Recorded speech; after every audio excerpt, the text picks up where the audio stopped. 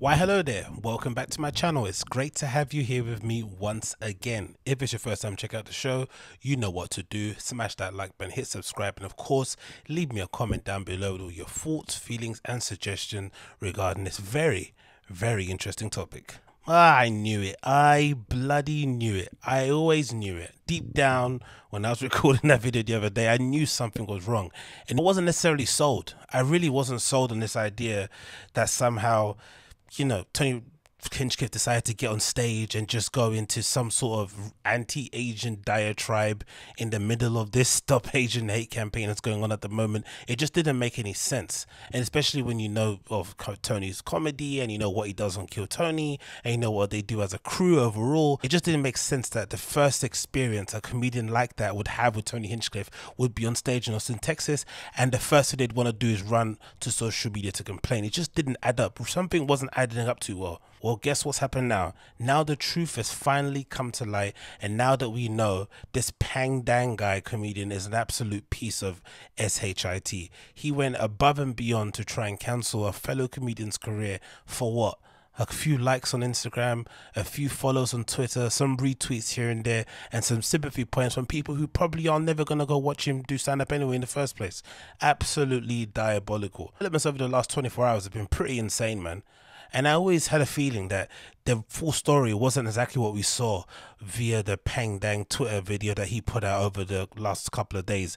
It just seemed a bit iffy. Maybe it's because of my experience of watching so many street fight videos and public freakout stuff on Reddit. There's always context removed of some of those videos, especially when it comes from people that were anti-mask or whatever it may be. They would purposely start recording at a point where they felt they were right in the argument, but then you never see the beginning part. So sometimes you, you know, you're quick to judge who's the hero and who's the villain in the story, and then the full video comes out and you and then you get an actual understanding as to why that person freaked out. You get a real good idea of it, but you need to have the full video and the full context of it. Context of being in a comedy club, having a drink, it being late at night, and having people on stage try things out, be a bit risque, and just go for it in an effort to make you laugh. Taking those videos, uploading them onto a social media platform, and then trying to dissect them with you know your cold sober eyes really does take away the magic from all that comedy and just kind of strips any hilarity, any comedy from it at all. And of course, if you're Pang Dang and you want to weaponize it in an effort to counter somebody, it's the perfect perfect ammunition. And so far, from what we've seen, he was lying. He completely orchestrated this entire affair in order to boost his career, it seems like, in order to kind of gain favor with people who weren't going to give him a job in the first place. Why would he do something like this? What a terrible, terrible on goal. But the best thing to come out of this has been Tony Hinchcliffe's comedy friends coming out and supporting him. For once, we've seen the comedy community come out in droves and support his right to say offensive things on stage, even if it was offensive, which it clearly wasn't. Now we've seen the context, but they've come out and support him. And one of the biggest uh, bits of support that he received over over social media has been the following from Tim Dillon. I don't believe Tony Hinchcliffe hates people, but he made the worst decision as a comic or human could make in that particular moment. But that guy has given platforms to people with ALS whose last wish was to do comedy. The show he created and did means something to people. I've watched people of all races, genders, and sexual orientations have a great set on Kill Tony. Some went on to have careers. For some, it was the it was just a moment that they wanted. They drove for hours to do a minute of stand up at the comedy store. You can't dismiss that completely because that does end up happening when somebody does get publicly cancelled for some reason, even if it's warranted. For some reason, all their accomplishments, all the good that they did prior, gets completely eviscerated. No one's allowed to remember them for the good that they did. No one's allowed to come up and support them. You only have to concentrate on the bad, and sometimes a bad incident, a bad decision shouldn't define your entire career. But the very revealing part of this entire thing has been these clips that have come up on social media showing the comedian Pang Dang in the company of other people associated with Tony Hinchcliffe and the Kill Tony crew, specifically Jeremiah Watkins, dating his history and relationship with that entire crew going back as far as 2019. Absolutely insane. So he's known these people for years. He knows exactly what type of comedy they're into. He knows exactly what they do on stage. He knows exactly how far they're willing to push it. And he knows exactly the kind of role that he was playing within that crew. But you see his comedy in the first place, right? It's a little bit, you know, it's a little bit hacky. You know, he's always kind of leaning into the fact that he's Chinese and just using that as material, more so to get applause as opposed to get, you know, hilarious outbursts of laugh. But this clip here from Twitter, courtesy of a person called Ted Tremblay, shows Peng Dang in the company of Jeremiah Watkins and also features a clip of Peng Dang going on stage at Kill Tony back in 2019 when he first met the Kill Tony crew and he gets a taste of what Tony Hinchcliffe's comedy is like. So, really and truly, should he be surprised by what he heard on that Austin stage? I don't think so, but you can judge for yourself in the following video. Uh, Pong and I did um, a show at the Vulcan Gas Company earlier this weekend um, on Thursday with Brian Redban, William Montgomery, and David Lucas, and that yes. show was so fun. Thank you. Thanks for having me, man. That yeah. Was, it was crazy to follow all those great comics. And uh, I met you guys originally through Kill uh, Tony. Uh, Kill Tony. Yes. Um, because Pong, I saw you the very first time you went on stage was at was it the Fort Worth Hyenas or it Dallas? It was the Fort Worth Hyenas. All right, this is it though. Um, so please remember that the first time he'd ever gone on stage, it seems like again we don't know if it's true because you know people in entertainment love to lionize their stories and lie about when they started and maybe add some years, take away some years if they think they're good, um, add some years if they think they're crap, whatever it may be. But if we're going by his account, the first time he went on stage was 2019 at a Kill Tony show. They gave him his opportunity, he gave him a chance to make it within comedy, and this is how he repays them. I'm fucking serious. No matter what happens, the bucket of destiny will decide. I'm digging deep. You guys sure? One more time? All right, this is it. Put your hands together for your final comedian of this Fort Worth Kill Tony goes by the name of Pang Dang. Made in China. I like that. Do you fall apart easily? I'm sorry? Because you're made in China. I asked if you fall apart easily. Uh. hey so he's pretty he got a you know a strong introduction as to what tony hinchcliffe's about and what their relationship will go on to be. So fun. So you moved here a year ago. You're, it's unbelievable english. Uh, your your your delivery is so crisp which clearly comes from chinese delivery. Mm. yes how long have. of a set can you do? My guess is like 30 minutes or less another delivery joke you ever walk anybody in the audience? Oh gosh. You're like if Dane Cook cooked dog. Act outs and everything. My goodness, that's incredible! What a fun, fun way to bring this show to a big end. What it gave him his start in comedy, and the way he wanted to repay them was to upload a doctored clip on Twitter that depicted Tony Hinchcliffe to be the head of some anti-Asian coalition of some sorts in order to propel his career forward. I don't know, man. I don't know. Then, of course, to add intrigue to insult and to really clear up things and to give us a real understanding as to what exactly happened, the comedian Ari Shaffir decided to upload an entire clip, 23 minutes long, showing exactly what led up to the situation that we saw on Peng Dang's Twitter account, and it tells a completely different story. I'm sure most of you have seen it. I'm not going to play the entire clip, but you could definitely check it out for yourself. But the most interesting part of it is obviously the description, which I'm going to read for you now. Here's the whole set of two comedians in a row. I, comedian Ari Shaffir, am only showing this because one of the comics that had his set viciously edited and released without his consent. So I'll do it in his, in his voice.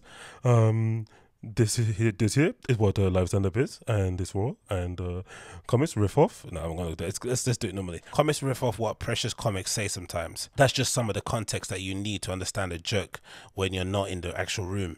In this one, the first comic does a super pandering, initially joke free bit about wanting people to be nice to Asians. So the next comic, Tony, went on to contrast the joke by going super obviously um, overboard, mean to Asians. That contrast is where the humor is and what the crowd was laughing at. Those laughs you hear are the honest reactions of a crowd who saw all the context. It's in Austin, one of the most liberal cities in America, and they're all laughing. Liberal people are laughing, and they're laughing because they understand the comedian doesn't hold those views. The ridiculousness of the overreaction is what's bringing out the laughs.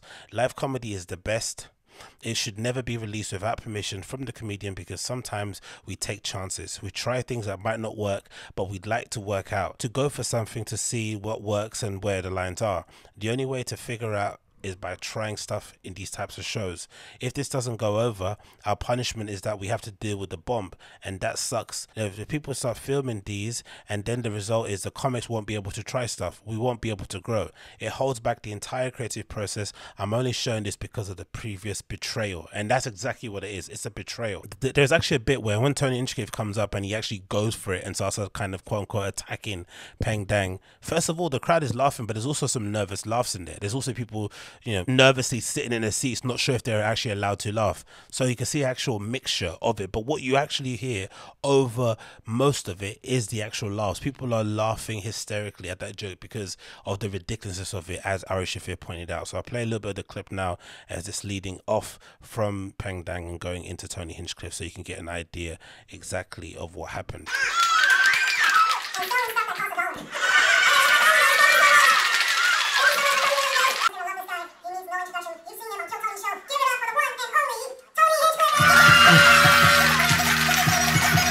Hello.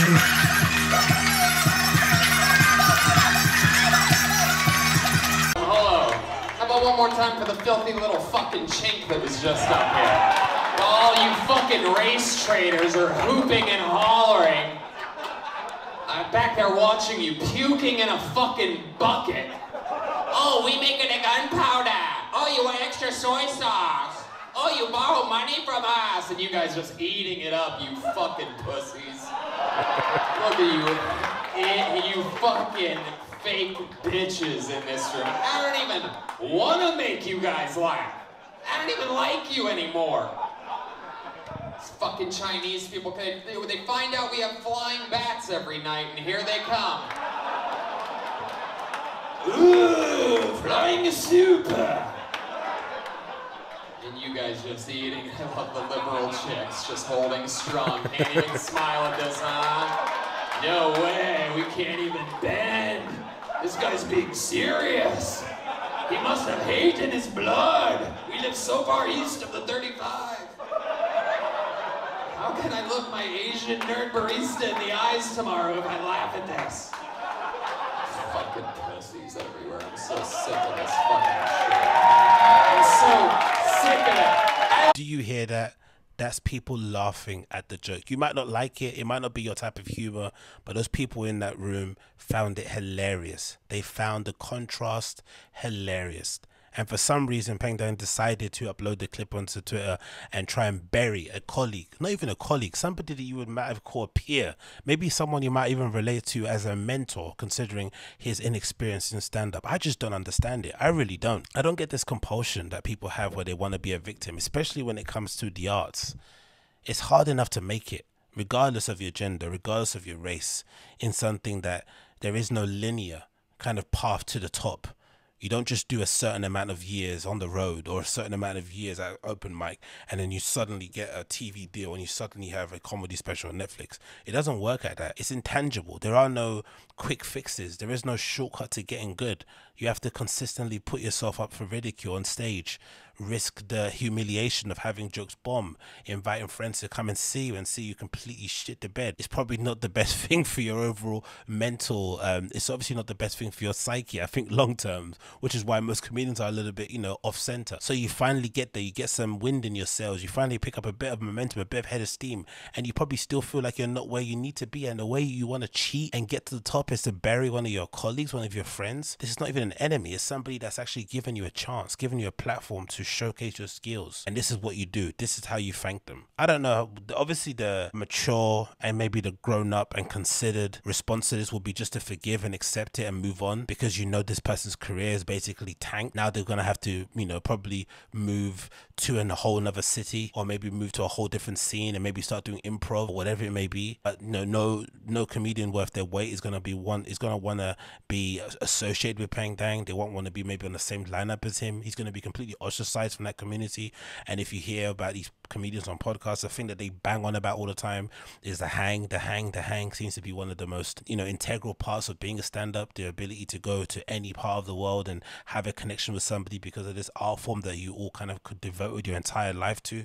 And he's gonna not have that anymore. Why would you do that? Everyone that basically is congratulating him or saying in his comments, I'm sorry that happened to you, they're not gonna be there for him now. They're not gonna go to any of his new shows. They're not going to buy any of his merch. They're not going to watch his comedy specials on, on whatever platform it might be on. They're just happy to hitch a ride onto the cancellation train in order to take somebody else down. And I don't like it. I never did. And I said from the beginning, the other video, I was skeptical from the start. It just didn't make any sense. Why was the context removed from it? Why was it perfectly shot? Why was it from a particular angle? And why did he offer no more comment after the fact? He went on TMZ, got his five minutes of fame, and now what? I don't really understand what's going on. I don't really get it. Because even if that wasn't the case and this video didn't come out, I still wouldn't think he was a racist. He might have said a dumb thing in a moment to get funny, to get some laughs out of a crowd, but you wouldn't necessarily call him an R word. That's ridiculous. That's way over the top.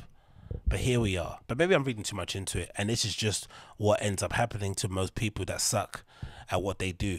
Inevitably, they reach a point where their skills can only get them so far. So they have to, you know, wave the victim flag above their head in order to get some more attention and to propel their career even further. And if that means stepping on their friends' heads, and if that means betraying their friends, stabbing in the back, then they'll do whatever it may be done in order to do that. But anyway, that's the video.